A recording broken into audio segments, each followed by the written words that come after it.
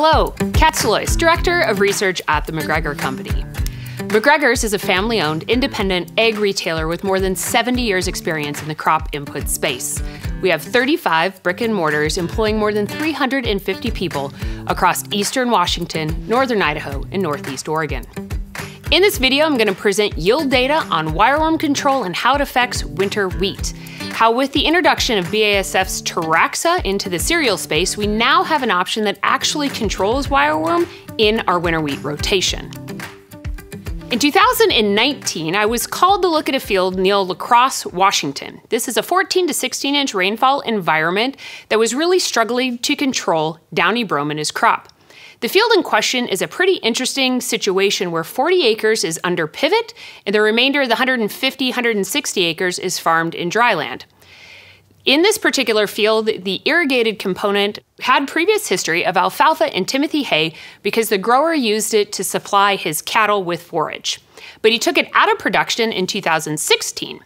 In 2017, 18, and 19, what the grower noticed is that the area underneath the pivot was 70% below the dryland component as far as yield goes.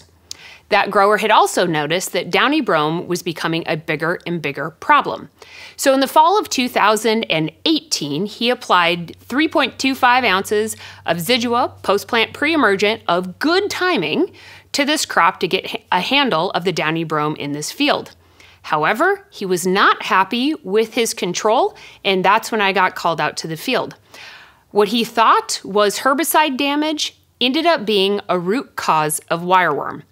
And as many good researchers often do, I did not have a solution for him that day, but I said, why don't we investigate this problem together? How about you let me put a research plot on this ground? And he's been more than gracious, allowing us to do amazing wireworm work in 2019, 20, and 21.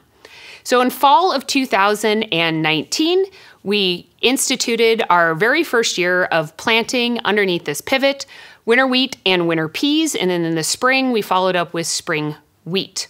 The goal in this trial location was to really be able to compare the seed applied insecticides, but we included that winter pea so that we could use a product called Capture LFR, which is bifenthrin. This product can be applied in furrow and surface incorporated. Previous work by the McGregor Company has really shown that the surface incorporated bifenthrin is one of the few options we have that actually has mortality behavior to those wireworms. Bifenthrin is a labeled product in our pulse crops and canola, but will never be labeled in our cereal crops. Our plan with this particular plot was to use the irrigation to establish the crop and then to be able to call the wireworm back to the surface to ensure that we got really good pressure. And guess what? We got the job done. So let's take a look at this drone image that was taken the middle of May. This one was taken right at 50 days post-emergent. The thing I want you to notice is that the untreated checks, that bare earth area, they stick out. This image was taken 70 days post emergent. The thing that's really interesting about these drone images is the wireworm damage comes on quick and it comes on complete. We can also look at the subblocking effect of this experiment. So I have the different seed applied insecticides subblocked together. Let's draw some boxes around those. So this first box is actually Kickstarter. Kickstarter is a proprietary product from McGregor's that combines nitrogen, phosphorus, and zinc, and it's meant to be applied in furrow. The reason I wanted to show you this is wireworm management needs to be thought of as an integrated approach. What other cultural practices do you have besides just hard chemistry? Well, this is a good example of one. The faster we can get that crop to germinate and the deeper we can get those roots to dive is a cultural practice we can use to help that crop outrun the pest. In this scenario, the yield effect between our Kickstarter and our non Kickstarter treatments was more than 25 bushels. I should also point out that the seed treatment was exactly the same. No insecticide was applied on either side. So the first set of boxes is imidacloprid or Cruiser. The second set is looking at Lumivia. And then take a look at the Teraxxa block. I think it's very visual and easy to see that Teraxxa was one of the only options that offered season-long control of wireworm all the way through to yield. So let's take a look at that yield data. The thing that's interesting about this yield data is how it groups. So our untreated check was around 15 bushels. Our single mode of action type products, so just Cruiser or just imidacloprid, we gained another 15 bushels. When we looked at something like Lumivia, it was a statistical improvement, but it still didn't offer acceptable control all the way through the season. And Teraxxa offered a statistically significant improvement in yield across all treatments. I do need to point out this was spring wheat, and this was 2020. Let's look at the winter wheat data of 2020. So in winter wheat, we planted in the third week of September. We had ideal emergent conditions and we used a starter fertilizer, which meant that that crop had plenty of time to tiller and looked outstanding going into spring. Visually, we could always point out those untreated checks, but we couldn't really parse apart any details between the treatments within that winter wheat stand.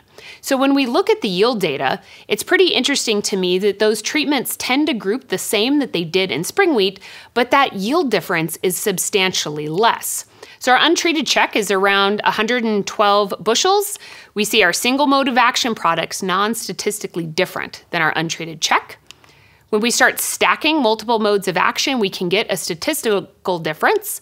And Teraxxa offered season long control even in our winter wheat that was a substantial 10 to 15 bushel improvement over our untreated check. So when we think about 2020 growing season, remember we had those ideal grain fill conditions, which means that tillers weren't a limiting factor in a majority of the yield. So we really wanted to retool for 2021 and see if we could get tillers to be that limiting factor. This is what that trial site looks like in 2021. The adjustments that we made we took the seeding rate population from 1 million to 800,000. We pushed the planting date back by three weeks into the last part of October, and we did not run a starter fertilizer in this trial. Our goal was to ensure that tillers would be our limiting factor. Again, we used winter wheat, spring wheat, and this time we used spring lentils. This is an image of what the wireworm damage started to look like the beginning of April.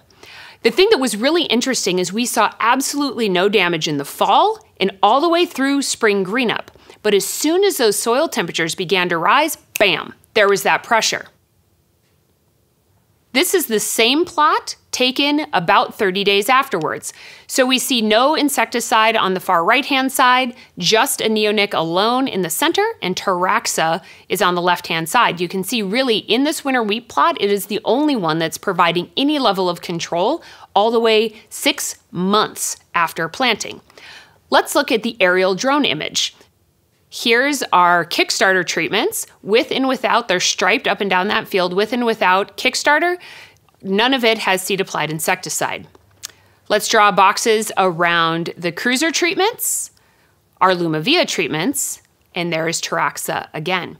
If we fade out those other treatments, I think again, it's visually very easy to see that Teraxxa is the only treatment that is allowing any level of protection all the way through that growing season.